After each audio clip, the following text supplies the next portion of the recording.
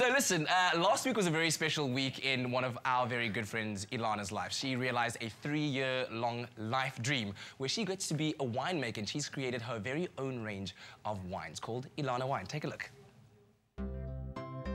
You've seen her share in many Expresso adventures, and now one of South Africa's leading ladies can tick off another item on her bucket list winemaking. I'm so excited. It's crazy to know that something that I've been planning for three years has finally come to a point where I have all my favorite people in one room, the exact same cellar where uh, I made the wine and we put it into barrels and it's rested here. And in this resting place of the cellar, we are, well, launching Elana One. And it obviously isn't all me. It's with the help of amazing contributors like my assistant winemaker, Rudi von Waltsleben. He's been remarkable with the process. And then also all the other people here. I made this wine for people to drink, so technically every sip is not about me. It's about everyone else that's here. Passion is one thing she's got, and she's hungry for knowledge. There's a few things.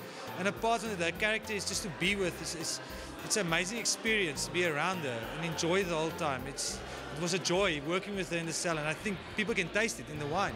The first sips of the handcrafted Shiraz were shared amongst friends at the cellar at D'Aria Wine Estate in Durbanville. I'm really happy to be here. What an honor to see this launch and to see a new project from Elana.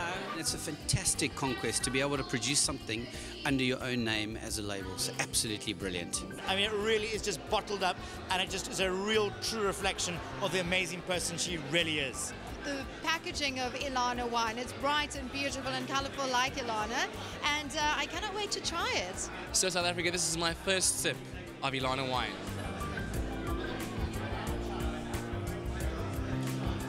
Ooh, that's a good vino. I'm ready to dream even more because if I can make wine, even though I speak for a living, I can do anything.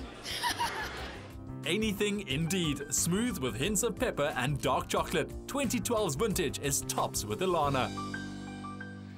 So Elana Wine is now available for you to taste the work that has gone in three years long. Amazing. Congratulations to Elana. We are so, so proud of her indeed.